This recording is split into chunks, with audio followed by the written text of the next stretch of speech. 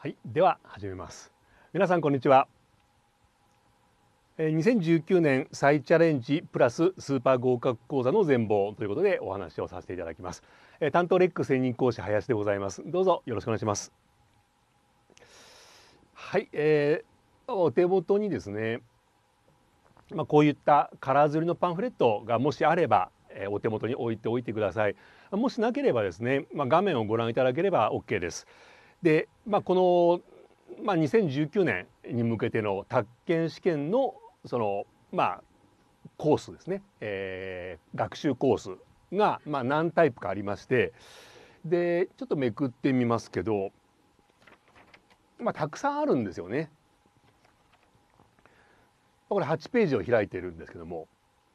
まあ、こういったね初学者向けの講座ですとか学習経験者向けの講座ですとか、まあ、こういった講座がまあいろいろありましてでこの、まあ、青いところですね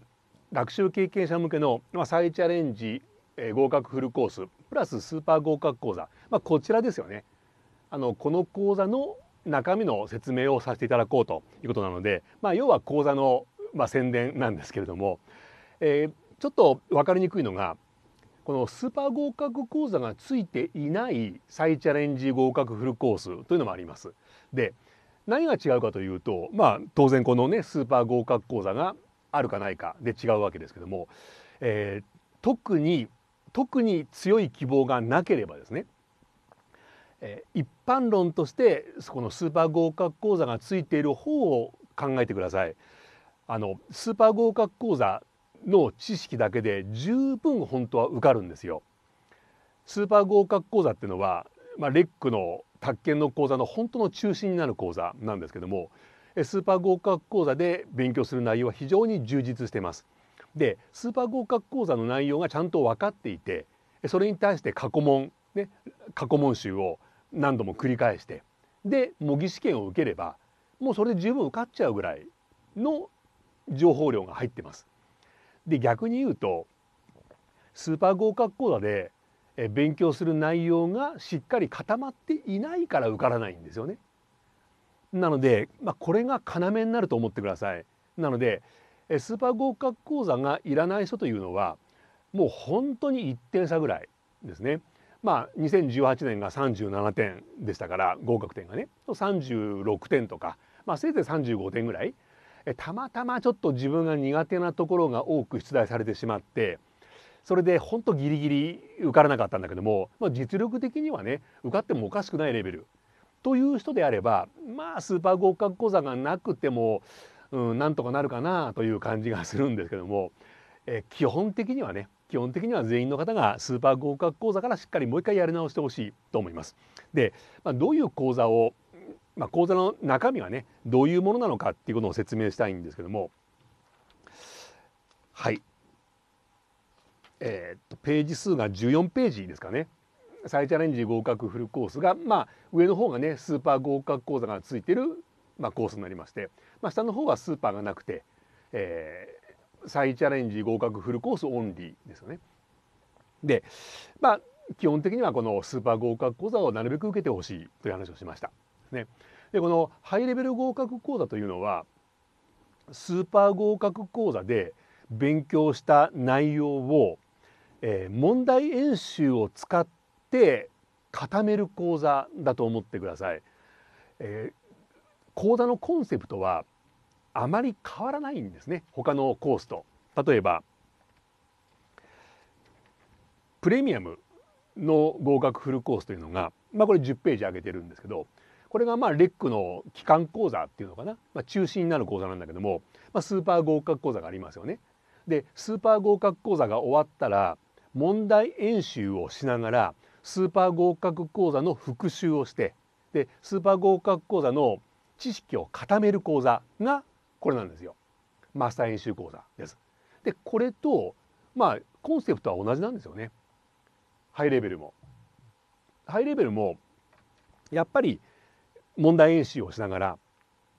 テキストの、えースーパー合格講座で勉強したような基礎的な知識を固め直す講座になります。でそこに再チャレンジはそこに力を入れてるんですね。なのでまああの割と回数が多いじゃないですか18回ですよね。でさっきのマスター演習講座は、まあ、15回でちょっと光って見にくいけど15回ですよね。で回数もは3回しか差がないかもしれませんけどもこれ時間が違うんですよ。マスター演習講座の方は 1, 1回が 2, 2時間半です。で再チャレンジの方は全部3時間なのでこのハイレベル合格講座の方がトータルの時間は多いんですね。でここに力を入れたいというのがこの再チャレンジの講座になります。なのでまあ基本的な知識をまず勉強していただいてでハイレベル合格講座でまあ固め直すっていう感じですね。でしかもハイレベル合格講座はハイレベル合格講座用のテキストを使います。えー、ちょっとこれ再チャレンジの方は受験経験があるからなので、えー、なんとなくまあ敵が見えてるっていうのかな一度受験したことがありますから相手が宅建試験というものがどういうものなのかでいつの時期からこういう勉強をしていってで結局自分は2018年は、えー、本試験の直前期になっても、まあ、達成度がねここまで到達できなくて受からなかったじゃないかっていう、まあ、反省ができるわけですよね。そうすると次はね2019年はちゃんとやろうというふうにまあ普通考えますよね。そうするとまあ去年よりはね、えー、ちょっとしっかりと早めに勉強時間を確保してでスタートスタートを早めてしっかりやっていこうという感じになってくると思うんですね。そうすると割と何て言うのかな。初めて試験を受ける時みたいになんとか受かりたいなっていう感じではなくて今年は落ちるわけにいかないっていう感じ。まあ何が違うんだっていうと あのうまく説明できないんだけどもなんとか受かりたいという初めての受験ではなくて今年は落ちるわけにいかない。という、まあ、精神状態っていうかそういった気持ちで受ける勉強時間勉強っていうのは多少は細かくてもきっちりと、えー、理解をして、ね、理論とか、えー、しっかりと理解をしてで記憶すべきことはしっかりと覚えてなるべくだったら、まあ、横綱相撲を取れるようにもう楽々、ね、受かりたい、ままあ、楽々受かるというのはおかしいか、えー、例えば、まあ、37点が合格点だとすればね40点取れてれば全然余裕でいられるじゃないですか。ところが予備校が37点が合格点の予想ですよというふうに予備校が各予備校が言ってて自分が37点だったら、まあ、生きた心地がしないですよね。そういうふうに、まあ、ギリギリ受かるんじゃなくてちゃんとね余裕を持ってしっかり受かりましょうよっていうのがこの再チャレンジの、まあ、目標といいますか講座のコンセプトになってきますんで若干細かいことでもしっかりやってきます。なのでもう何ていうかミニマムっていうかね最低限度もうこれこれができなかったらもうダメという最低のレベルではなくてプラスアルファまでやっていきます。なのでまあ勉強はそれなりに分量多いですよ。うん、大変かもしれません。でもちゃんと消化していただければ、えー、かなり実力つきます。なので、まあ、ちょっとね、えー、今年はもう絶対に失敗できないってね、えー、2019年は間違っても落ちるわけにいかないというふうにまあ、腹をくくれてる人はね是非再チャレンジの方を検討してみてください。で、えーと、通学クラスが、えーと、東京の渋谷とあとは大阪の梅田とあと名古屋ああの下にありますね。えーと、渋谷と梅田と名古屋この3つしかやってないんですよ。なのでこのここに来れない人は、えー、と通信になっちゃいます。で通信講座で自分は十分勉強できるよという人はそれで構いません。でもいや通信はねちょっとねなんかサボっちゃいそうで、えー、不安だなっていう方はですね無理しないであの普通の講座にしてください。このプレミアムプレミアム合格フルコースにすれば、えー、たくさんもうレックの日本全国にあるレックの本校でみんなやってますからね。結構やってますから。だからやっぱ通学じゃないとやっぱり不安だという方はもう通学で、えー、受講できる講義を、まあ、第一優先で考えてほしいです。通信でもでき通信でも自分は頑張れるよとかね。あるいは通信がいいんだとかね。の場合は、まあ、通信講座は僕が担当してますんで、まあ、一度ねそのお試しで、えー、受けられます。えっ、ー、と権利関係の1回目は無料で受けられますのでまずお試しで1回受けていただいてで、まあ、そうこういうスケジュールでこういう感じで勉強が進め進めていくのであれば、まあ、自分はなんとかついていけるなというふうにまあ一度自分で確認してからね、えー、申し込んでも構いませんしでこのスーパー合格講座もねこれもこれはあの講師は通信の講師は違いますけどもスーパー合格講座もお試しで、えー、受けられますから、まあ、受けていただいて、まあ、通信でもなんとかなりそうだと思えばね、まあ、通信で受講するのもいいと思います。で、えー、通学クラスの方もね、えー、初回は無料で1回無料で無料体験で受けられますから、まあ、いっぺん受けてみてそれから決めても構わないと思います。ただハイレベルが始まるのはもうあの春になっちゃいますんでその前にできればスーパー合格講座の勉強をしておいてほしいのでできればスーパー合格講座の1回目ですね。それがやっぱり無料で受けられますからで受けてみてあるいは通信も受けられ通信もね無料で受けられますんでまず1回なるべく早く このスーパー合格講座の1回目の講義を受講していただいてでまあこのこのパターンで自分は、えー、2019年は戦っていこうというね、まあ、覚悟が決まったらなるべく早く進めてほしいと思います。はい、で ハイレベル合格講座は、まあ、基本的には問題演習を通じてスーパー合格講座の復習をする講座という話をしました。でそれと、まあ、ほぼ並行して分野別ベーシック答練これはまあ答案練習会要は問題これも問題演習です。で、えー、少し細分化してるんですよね。例えば、まあ、書くとこないんですけども例えばうんと権利関係がねあるとしますね。権利関係が、えー、1234567ちょっと書けなくなっちゃったな。まあ 8? 123456788ちょっとうまく書けないんだけども、えこれなしですね。あの8回権利関係が8回あります。あ7回か。えっ、ー、とハイレベルだから7回か。そうするとえっ、ー、とこれか。1234567回かな。ですかね。で、えー、その時にこれをずっと1234567 7回まで全部終わらせてしまってで権利関係が全部終わってから問題を解くというんじゃなくてこの辺ですよねここで問題を入れるんですね途中で。4回目が終わったらそこまでの範囲の問題をやってくれっていう感じですね。でその問題を1時間で解いていただいて、まあ、問題数が25問ありますんで25問で1時間で解いていただいてでえー、2時間使ってその問題の解説をしていく感じですね。そういった形で、まあ、ちょっと講義を細分化して演習問題を解いていただいてでまたスーパー合格講座で勉強した基礎的知識を確認していくですね。なのでこの再チャレンジっていう講座は演習がメインの講座なんですよね言ってみればね。はい、実践答練あります。これもやっぱり答案練習会ですね。3回あります。えー、初級中級上級で50問の問題解いていただいてでそれをまたその場合は1時間かな。1時間で解説講義をする。という形で、まあ、問題演習をして解説する、まあ、これは通信オンリーですね。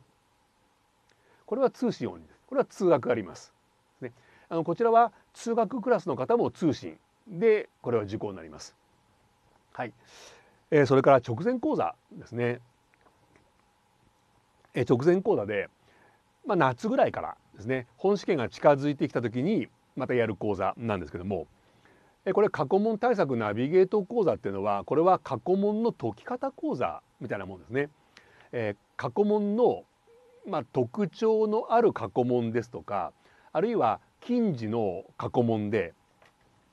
でですねレックが出している、まあ、過去問集があるんですけどこれ20ページですね。レックの過去問集があります。デルジュン宅建士ウォークモン過去問題集っていうのがあって、まあ、権利関係宅建業法法令上の制限の3分冊になってます。でこのこの市販の過去問集に載っていない過去問ですね。この市販の本屋さんで売ってる過去問集には載ってレックのですよ。レックの過去問集に載っていない過去問で、まあ、やっておいた方がいいかなという問題もあります。なのでそういった問題を集めてでやるんですね。で解き方を勉強していきます。それがこの過去問対策ナビゲート講座になります。それから直前のバックアップ総まとめ講座。これもね本試験に近づいてきた頃ですねやるんだけど、まあ、3回ありますよね。でこれがですねこれに対応してるんですね。公開模試が3回あります、えー、レックの公開模試が基礎編と実践編に分かれてましてで実践編は本試験よりも若干えレベルが高いかもしれないですね。難易度が高いかもしれません。なので、まあ、本試験がね少し優しく感じられるようにちょっとだけ難しい問題を出してるんだけどこの実践編の3回の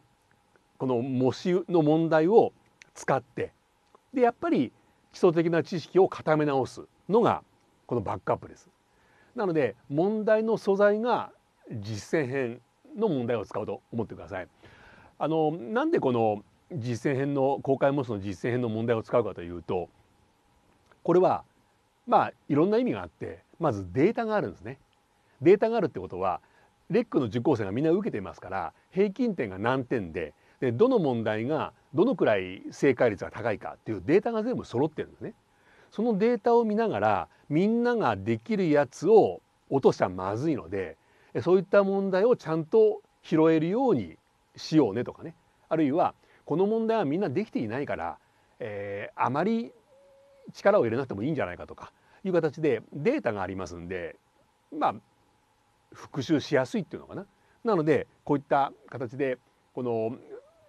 総まとめ講座で、えー、取捨選択ができるという、まあ、メリットもあります。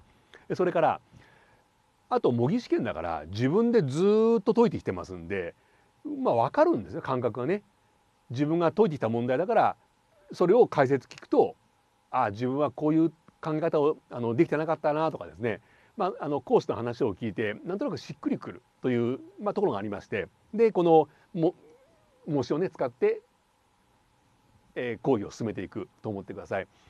ラスト1週間これ、まあ、最後の1週間にやるんだったら、まあ、これをやりましょうっていう感じで、まあ、コンパクトな講義のレジュメを使ってでえ超重要テーマを潰していく講座になります。で最後に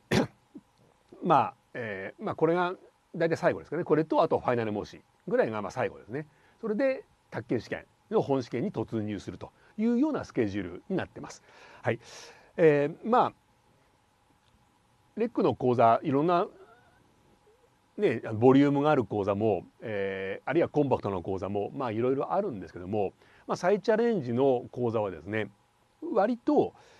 うん一度受験された方が今年は絶対に失敗したくないから、えー、ちゃんと頑張るんだというふうに、まあ、覚悟を決めて、まあ、来られると思うんですよね。で人によってやっぱり範囲は違うと思うんですよ。どうしてその人はね、あの2018年で失敗してしまったかっていうのは原因はそれぞれみんな違うと思うんですよね。なので、まあ、なるべくだったらその人に応じたそのアドバイスとかね受験指導をしたいというふうに考えています。なので、まあ、これ通信もそうです。通信の場合もその通信なんかメールとかで質問ができる制度がありますんで、まあ、なるべく個別にねえー、対応したいと思ってますし、まあ、通学クラスの場合は特に、まあ、目の前にいらっしゃいますんでできれば個別にねいろんなアドバイスをしたいと思ってますんでまあ講師もどちらかというと、うんまあ、講師経験が長くてでまあベテランって自分でベテランって言ったらちょっとねあれあのおこがましいけどまあ宅建試験の受験指導を長くやっている講師が担当しているのがこの特徴になりますので、まあ、ぜひね、えー、検討してみてください。という話になります。はい、それではですね、えー、と2019年再チャレンジプラススーパー合格講座の全貌ということでお話をさせていただきました。えー、どうもお疲れ様でした。